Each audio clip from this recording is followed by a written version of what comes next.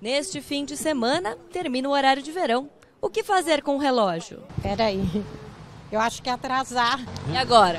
Precisa adiantar. Atrasar. Tem que adiantar. A resposta certa é atrasar.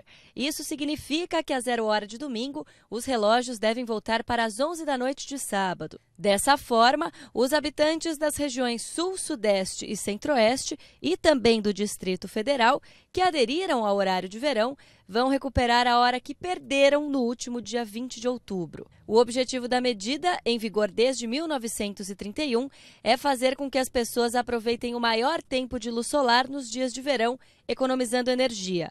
A estimativa é de que 400 milhões de reais tenham sido poupados durante esses quase quatro meses. Mas o que as pessoas acham dessa mudança no horário? Me incomoda muito. Aproveite mais o dia, né? O dia fica mais longo. Trabalha um pouco sono. Acaba acostumando. Gostando ou desgostando, o horário de verão tem dia para começar e terminar para todos. Essa alteração no relógio mexe com o nosso organismo e pode causar alguns sintomas incômodos. Durante nos primeiros dias a pessoa pode ter um certo cansaço, uma certa indisposição, né?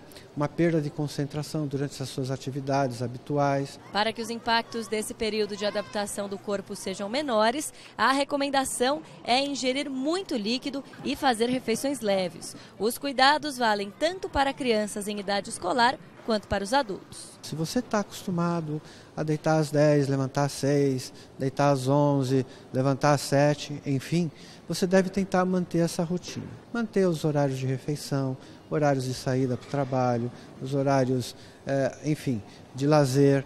Manter essa rotina o mais próximo dela possível.